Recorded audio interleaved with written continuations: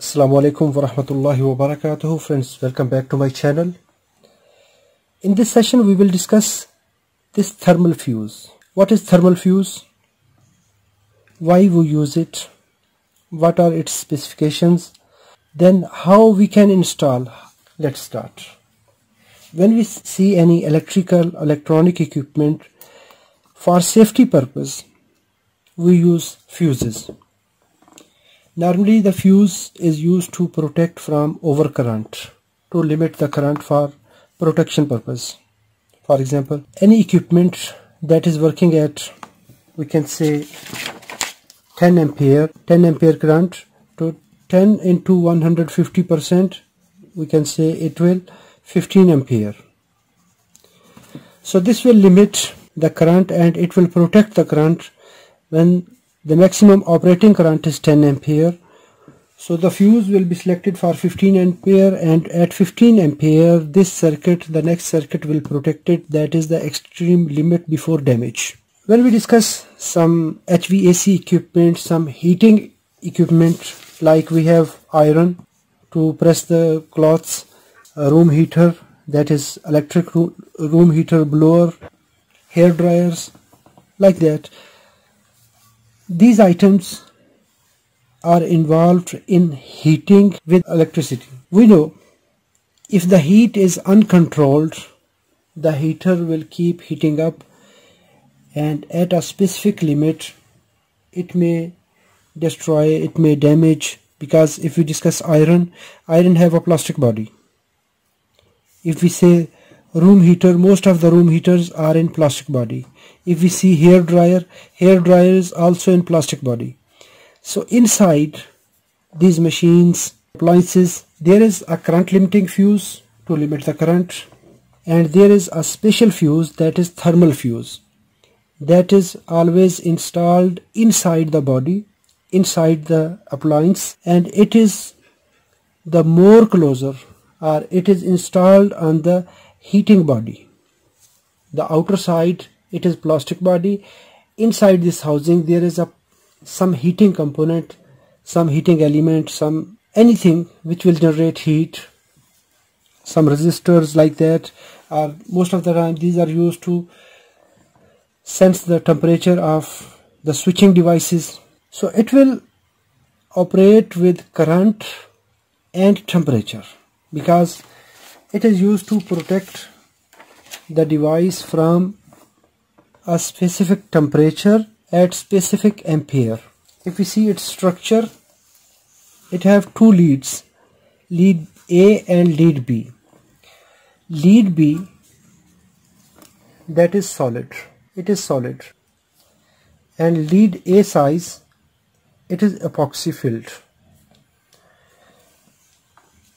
These fuses are wire based. When the current will increase, this wire will burn out at its melting point.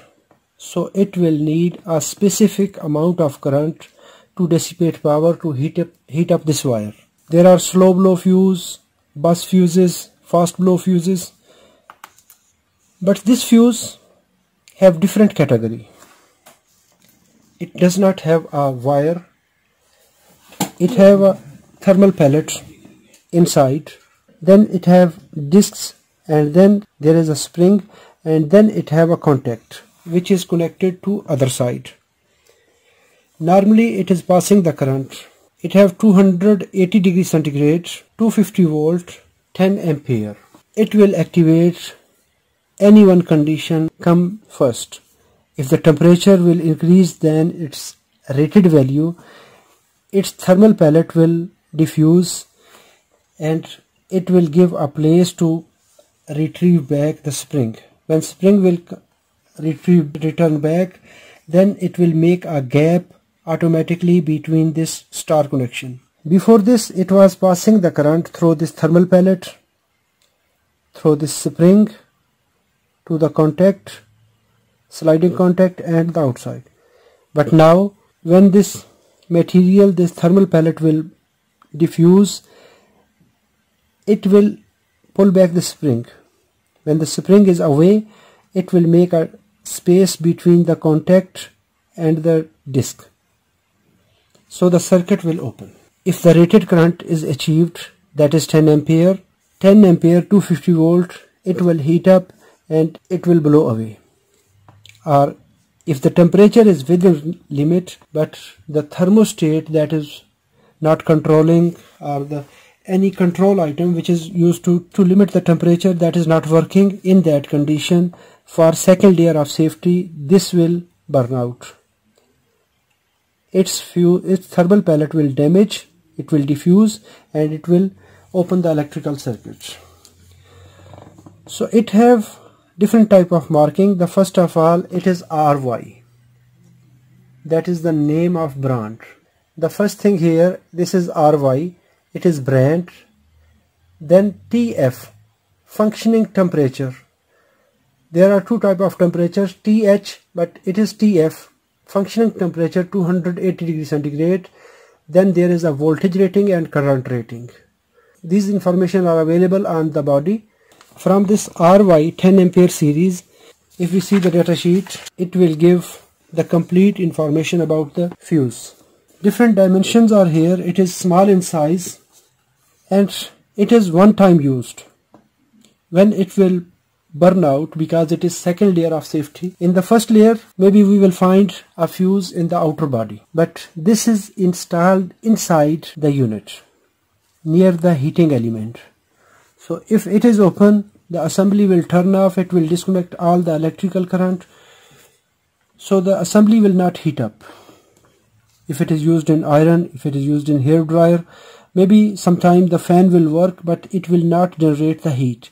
So basic reason will this thermal fuse if you go to data sheet it have SF70E so that means it is 70 degree temperature operated from 70 plus minus 2 to 73 degree.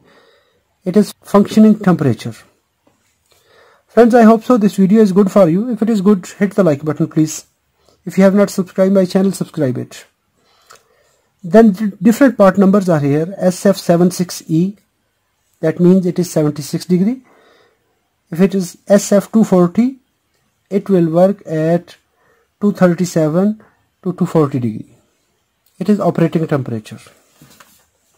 And it have current rating 15 15 ampere and 10 ampere. So these categories are available in 10 ampere and 15 ampere at AC 250 volt rating. In RY category, we have RY 72, RY 139. If it is RY 72, that means it will work at 72 degree. Rated functioning temperature. RY 15, RY 169. So RY 169, it will operate at 169. So these have different temperature rating and here is current rating. RY 10 ampere 250 volt 10 ampere. 110 10 ampere. If RY 250 it will operate at 250 degree centigrade. RY 260 that will operate at 260 degree centigrade. There are different brands of this fuse but the working phenomena is the same for everything for every fuse. It is DF66S TF its functioning temperature it is 66 degree. In any fuse the functioning temperature that is the most important. If you want to replace the fuse there are some special cares to install the fuse. As we know it is temperature sensitive. If we want to solder it might be while connecting if we give a high temperature for example we use a soldering iron that have temperature 350 degree centigrade and we make soldering here this temperature, the soldering iron temperature will damage this fuse. Why? Because it have a thermal pellet that this is very temperature sensitive. In soldering, might be while soldering it will diffuse. When it will diffuse, this fuse is damaged. So this fuse will not work. It is the best practice to use terminal lug, thimble. We have another option if you don't have terminal lug just only very carefully hold this lead from here and make a ring here. Install with some screw with washer or use some supplies and crimp it. That is the best way to install this fuse and never twist like this because it have a epoxy here might be with some excessive force it will damage. If the lead will move from inside although it is secure but in practical life when we try to move it might be this epoxy will damage and it will open from inside because it have a physical contact like this. I hope so this video is informative. If it is informative hit the like button. If you have any question please let me know in the comment box. Thanks for watching assalamu alaikum warahmatullahi wabarakatuh